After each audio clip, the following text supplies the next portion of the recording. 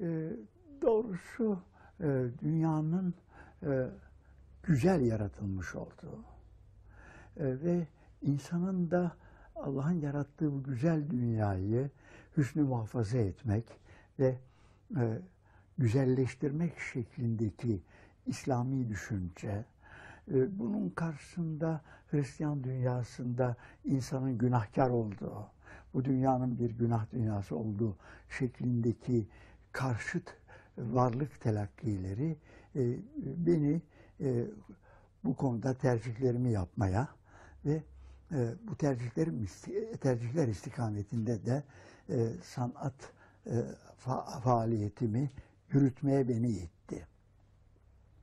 E, doğrusu e, insanların e, günahkar olduklarını e, iddia etmek biraz e, insana hatta insanı yaratan Allah'a, yaratılışa haksızlık etmek gibi gö- gözüküyor bana.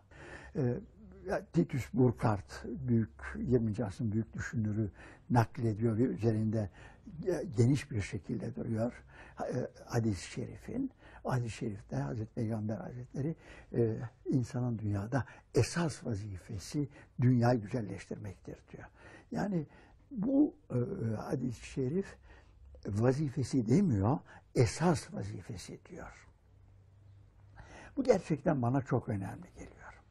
Ee, Eğer e, dünyada e, bütün her şey e, Allah'ın yarattığı kainatta e, bir düzen ise, he- her şey o düzenin içerisinde ise, bu düzeni ve güzelliği yapan iradenin esaslarına uyarak güzelliğin meydana getirileceği kaçınılmaz bir gerçek olarak ortaya çıkıyor.